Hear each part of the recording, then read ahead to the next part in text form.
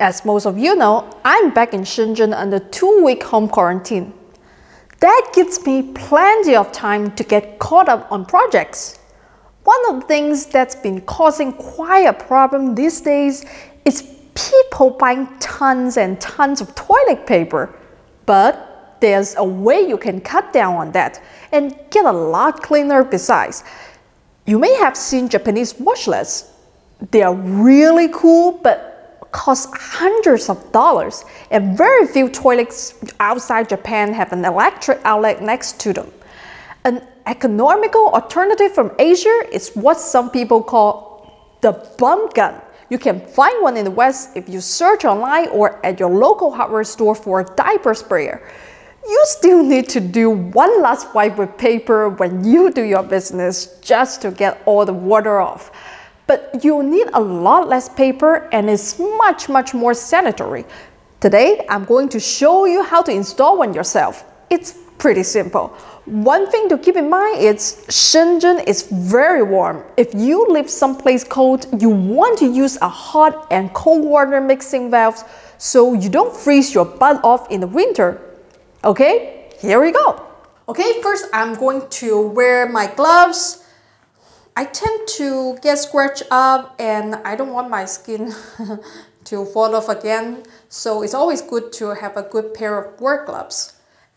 And then I'm going to turn off the water and unscrew the water pipe. It might drip a little bit, you can put a towel underneath, but I don't think that's a big problem.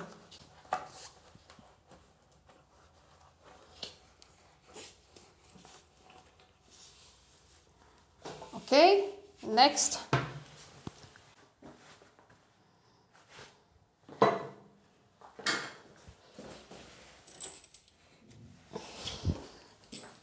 Okay, I have this T connector here. There are three holes.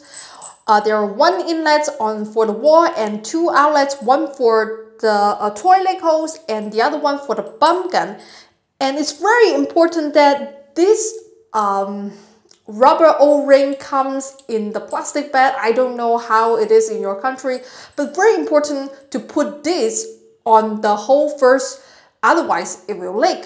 So make sure you get this if it doesn't come with the T connector. Okay, now I'm going to put some sealant. Um,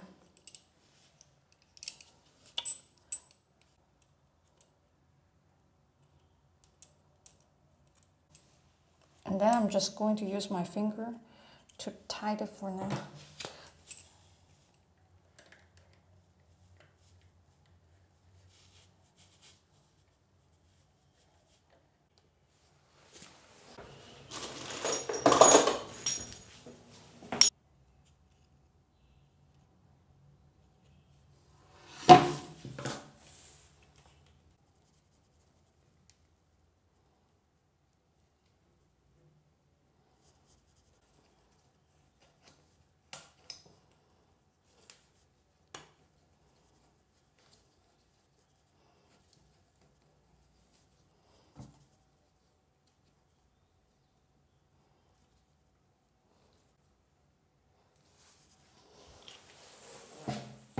Okay, now I'm going to use the wrench and just make it a little bit snug.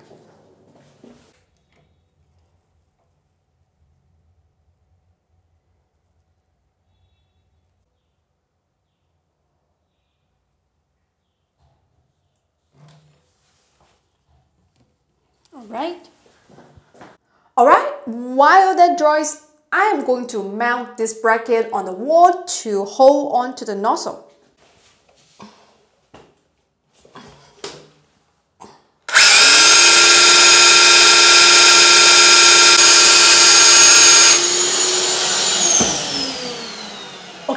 Going to switch to the drill mode to the hammer mode. Obviously, when we go for the tile, we don't need the hammer mode, but the concrete behind it, we definitely need to use the hammer mode. So I'm gonna, going to switch it now.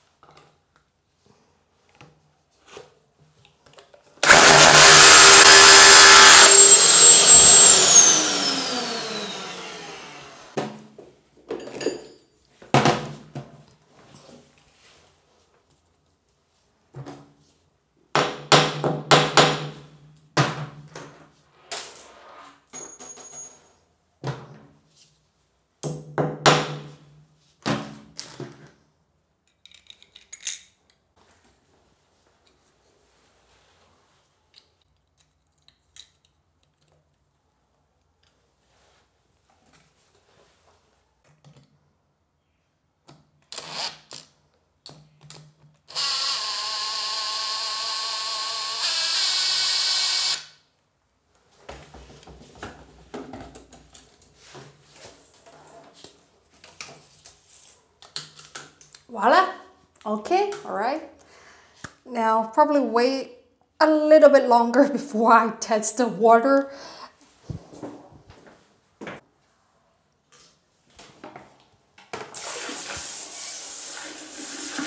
Alright, it looks like it worked, but if the pressure is a little bit powerful for you, you want to turn it down a bit, that's that's okay because you can adjust the uh, where we turn on the water hose here, you can turn it back a little bit and adjust it. And then the to see if you know which it's more comfortable for you to wash your butt off. Uh, I think this is good for me now. I hope that was useful. This is a pretty quick video because I know many of you are home right now and I just want to do my part and keep you entertained and your spirits up. Until next time, remember, if I can do it, anyone can do it.